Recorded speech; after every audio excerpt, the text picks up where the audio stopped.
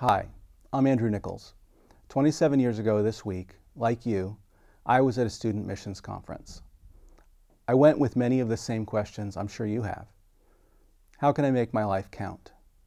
Should I become a missionary? I even cornered Dr. Ralph Winter, the great visionary who helped get Christians focused on unreached people groups. I said, Should I go to the mission field? To my surprise, he said, It may be more strategic to be a sender than a goer. Later, as a member at Capitol Hill Baptist Church, I considered whether to become a pastor. At one point, our senior pastor, Mark Dever, introduced me to the theologian Carl Henry, and he mentioned that I was considering the pastorate. Without missing a beat, Dr. Henry said, Avoid it if you can. Well, I realized that I had to make a decision. I decided, based in part on the advice of Dr. Winter and Dr. Henry, that I wouldn't go to seminary. I could have a ministry in my local church maybe someday as an elder. I would opt out of paid ministry for now, knowing that God could turn me around any time. Since then, I've kept my bags packed emotionally, always ready to go if it became clear that I should go. In 1999, I got married to a woman who used to be on staff with the campus ministry and has always been open to missions, and we had four children. Two are in college, the other two are in high school. I worked in the U.S. Congress for seven years went to law school, and have practiced law for the last 16 years. I was a partner in a large international law firm. Just this year, I moved to a small firm. My wife manages our home and recently took a job at our kids' school. I've served in many capacities in the church, including as an elder, and have helped plant a church.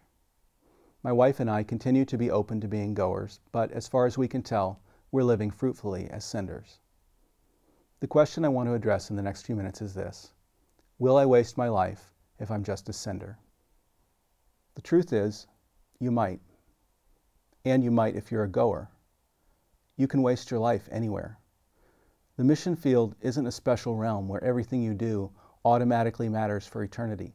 If you're careless, lazy, self promoting, unethical, or a workaholic who wrecks your marriage, you can waste your life smack in the middle of an unreached people group. Going is no guarantee of faithfulness. In fact, a lifetime of reading the New Testament convinces me that God wants us to focus more on how we're working than on the geography of where we're working. Try this. Read through the New Testament and note every passage that talks about how to work and every one that talks about geographically where to work. If you do that, I think you'll conclude that geography may be the least important question you're facing. Not because God doesn't care about the nations, but because He's a great God. He can easily transplant an excellent worker from one place to another. He can move Martyn Lloyd-Jones from a remote village in Wales to London. He can take Tim Keller from rural Virginia to New York City. And he can move people the other direction as well. Think of all the things that redirect the course of your life a new marital status, a change in your health, a surprising opening, a switch in government policies, a global pandemic. Any of these things, and so many more, can turn senders into goers and goers into senders. And God sometimes waits to change things up. If you met Jesus when he was, say, 22 years old, you might have encouraged him not to work eight more years in the carpenter shop before preaching. I think we forget how shocked people were when Jesus changed jobs at age 30. He showed up in his hometown of Nazareth to preach, and the people said, Isn't this the carpenter? It's almost a comic scene. You look familiar, preacher. Didn't you sell me a dining room set? Or think about Moses as a young man. He tried to be a hero, really a vigilante, and he wound up on the run as a murderer. By the time he was called, at age 80, he was done with heroics. He was quite content herding sheep, thank you very much. The point is, many of us will live through going and staying seasons, and the going seasons may come later than we think. So, with that in mind, let's talk about two biblical principles that will help us make the most of our lives as senders or for that matter, as goers. These are big concepts worth careful study. I'll just whet your appetite here. Number one, We're always working for Jesus. Genesis teaches us that God is a worker, and He made us to be workers. After God worked to create the world, He made us to work it and to keep it. Genesis tells us the Lord God took the man and put him in the Garden of Eden to work it and keep it. He charged the man and his wife to fill the earth and subdue it. In other words, God made us before the fall to work at making his creation flourish. As a result of the fall, we work for ourselves, by our own rules, for our own purposes. But Jesus frees us from working for ourselves. He redeems us to work for Him, to make His world flourish, both physically and spiritually. The call of Christ, then, is not fundamentally a call to a new work, but to a new master. We're called away from Master Self to Master Jesus. Now, I want to be clear obeying Master Jesus might lead you to change your job. Say, if your job is immoral or leads you to live in a way that's unfaithful to God. But the essence of Jesus' call isn't to change your job, it's to follow Him in your job.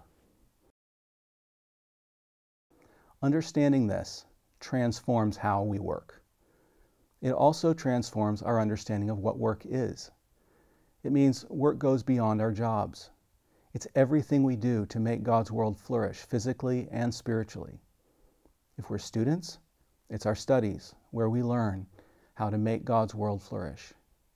If we're in the marketplace, it's every task we do, every email we send, every meeting we hold, every person we help.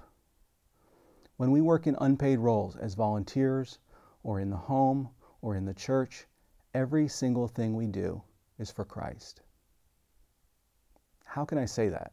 Well, it's crystal clear in Scripture that there's never a time when we're not serving Christ, no matter the task at hand. Remember what Paul told the Colossian slaves? Whatever you do, work heartily, as for the Lord, and not for men, knowing that from the Lord you will receive the inheritance as your reward. You are serving the Lord Christ. That's why he told the Corinthians, each one of you should remain in the condition in which he was called. Were you a bondservant when called? Do not be concerned. In whatever condition you were called, there remain with God. You see his point? Whatever our work may be, we do it for Jesus, with Jesus.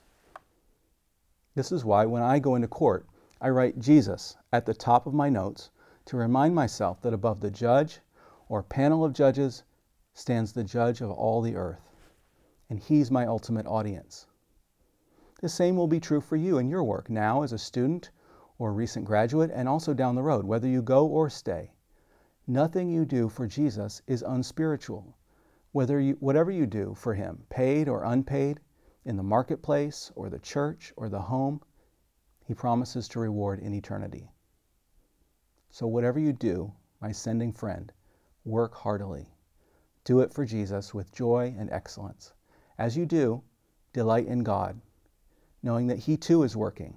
In fact, as part of His work, He's prepared your good works in advance for you. Seeing Jesus as your boss will free you to say no to too much work in any sphere because you know He's given you other assignments. As my son put it, just as you wouldn't turn in one beautiful project at work while ignoring two other ones, you shouldn't strive for excellence in your job to the exclusion of other God given responsibilities. Exactly right. But what are those other responsibilities?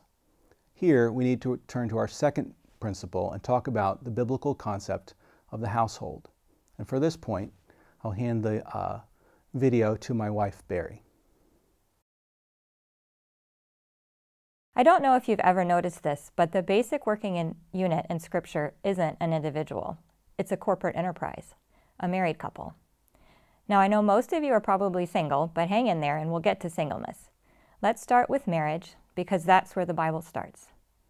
Remember in Genesis, God gave Adam work to do fill and subdue the earth. But Adam couldn't do it alone. In fact, God said Adam's aloneness was not good. But you know, that's exactly how we tend to think of ourselves as workers solitary people toiling from 9 to 5 or 8 to 6 or whatever your schedule may be, were Adam or Eve alone in the garden.